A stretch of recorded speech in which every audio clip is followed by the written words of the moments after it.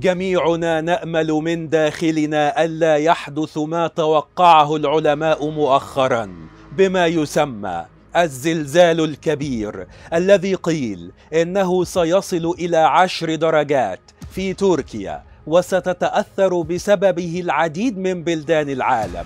لكن ما يحدث للأرض مخيف فأن يذوب فجأة أكبر أنهار العالم الجليدي وأن تهبط القشرة الأرضية مهددة ما يقرب من عشرة آلاف قرية فهذا أمر غريب فهل تستعد الأرض لشيء نجهله؟ وهل تتعاون الطبيعة مع الأرض لتعلن عن غضب الرب؟ كشفت لقطات للأقمار الصناعية التابعة لمؤسسة روسكوسموس الروسية عن ذوبان نهر ثويتس الجليدي والمعروف باسم نهر القيامة وهو ثاني أكبر نهر جليدي في القارة القطبية الجنوبية وتظهر الصور كيفية ذوبان النهر الجليدي بسبب تيارات دافئة تنبع من الداخل وأفادت دراسات سابقة أن الماء الدافئ يشكل هياكل تشبه الشرفه في قاعدة الجرف الجليدي.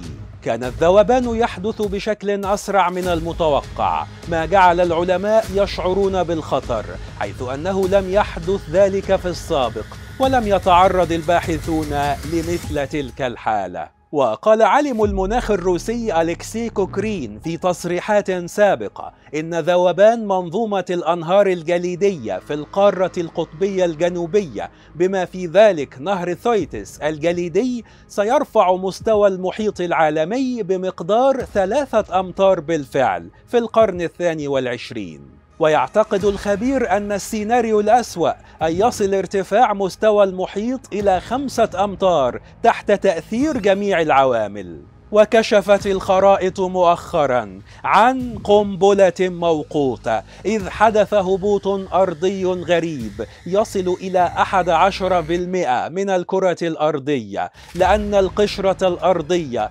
هبطت بعد الأحداث الأخيرة وهذا معناه أن أكثر من 39 مليون شخص مهددون تماما حيث تمر القشرة الأرضية بأسوأ حالاتها. منذ عقود مضت ما يهدد أكثر من 380 مدينة ونحو 9300 قرية مهددة بالهبوط تحت الأرض. الخطير في الأمر أن بوادره بدأت بالفعل فمناطق مثل طهران وخراسان وبعض المناطق بسوريا بدأت تسجل هبوطا في الأرض وتتحكم الدول الأوروبية واليابان في الهبوط الذي يحدث للأرض كل عام ويصل إلى واحد سنتيمتر. لكن ما نتحدث عنه ويهدد بعض الدول العربية يصل إلى 17 سنتيمترا. وأرجع العلماء سبب الهبوط الدائم إلى جفاف الأنهار واستخدام المياه الجوفية بشكل مفرط للغاية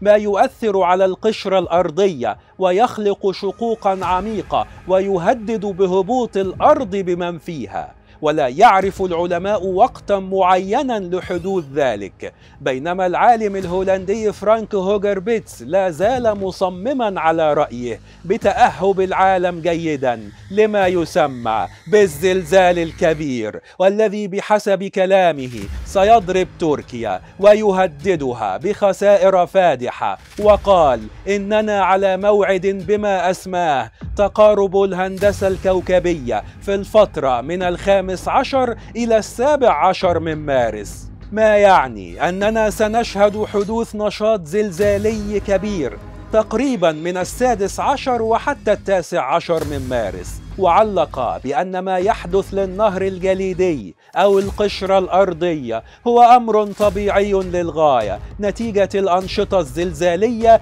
التي تحدث لكوكب الأرض. ليبقى الخوف مسيطرا من أن نستيقظ فجأة على خبر جفاف أحد الأنهار أو ابتلاع الأرض لمدينة من المدن أو الرعب الأكبر الزلزال الكبير.